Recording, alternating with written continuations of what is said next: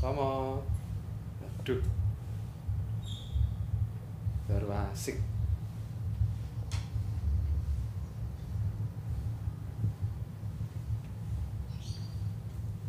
Mau? Waduh. Kaget aku. asik, asik tenan ini mau.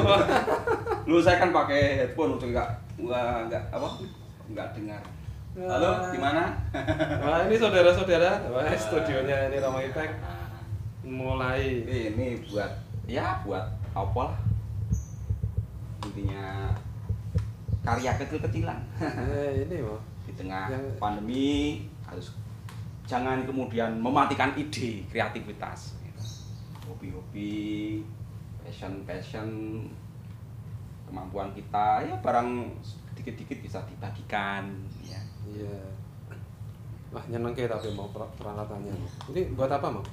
Eh, saya buat nah ini akapela Ya kapela. nah ini. Ini. Suatu mencoba gini loh. Coba nak apa itu keroncong apa gamelan itu pakai mulut. Nah saya coba. Ini saya tak coba tampilkan bukan hasilnya yang penting tapi ya itu sekali lagi kreativitas toh.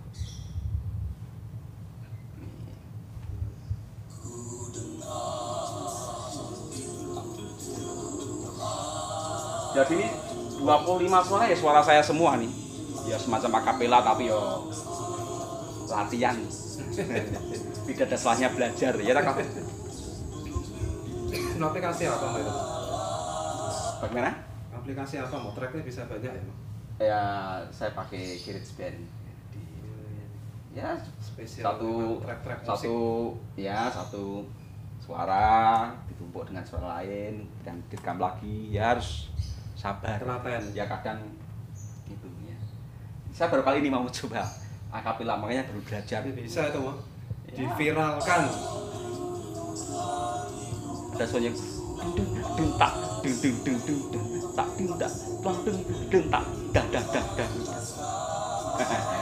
ya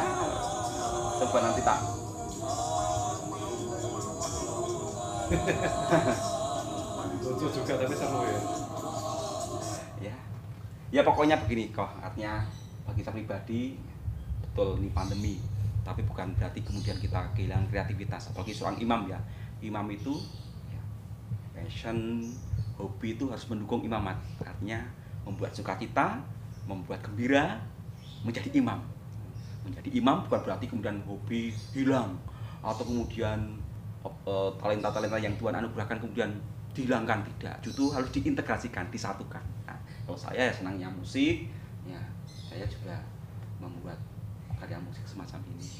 Ya diolah sendiri. Kadang ada permintaan dari eh, saudara. Kemarin saya membuat lagu dari saudara karena saudara punya lagu tapi nggak bisa membuat musiknya atau menyanyikannya dikasihkan aku ya sambil nah, saudara saya sendiri kemudian saya saya garap saya nyanyikan kemudian ya akhirnya menjadi menjadi berkat bagi orang lain tidak hanya bagi saudara saya tapi juga semoga menjadi dalam diri umat nah tugas saya bagi imam itu kan begitu artinya ketika di komsos juga semacam itu di komsos lebih kapan saya juga menangkap ada satu anak remaja yang yang punya talenta menyanyi bagus tok. Kalau syairnya bagus kemudian saya angkat saya garap musiknya ya pakai ini.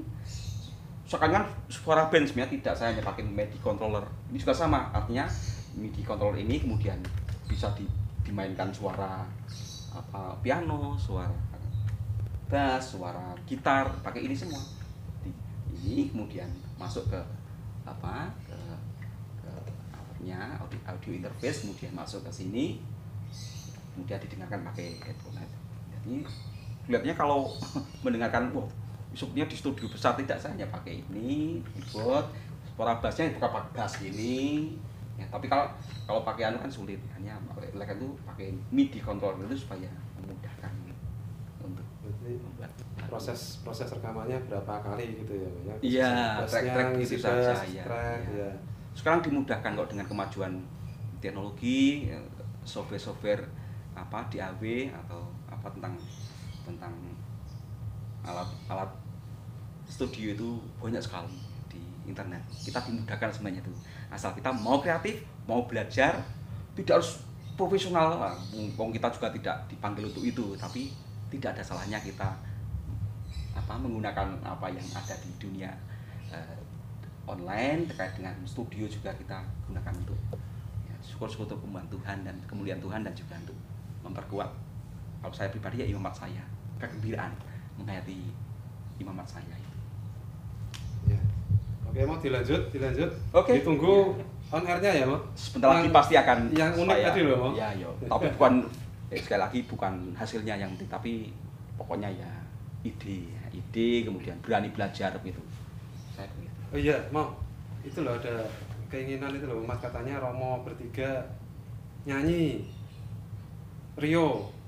mbak ya nanti bisa nanti coba karena jadwal romo kan berbeda-beda ya nanti kalau kalau anu, pasti menyanyi untuk sementara umat menyanyi dulu sendirian di rumah di tengah keluarga. Ya, gitu. Iya. begitu Ya, oke, Mo. ya, makasih kunjungannya ya untuk- dari Mo. Salam Eh, untuk makasih, Mo. Komsel dan juga umat semuanya. Ya, makasih, Mo. Iya, iya.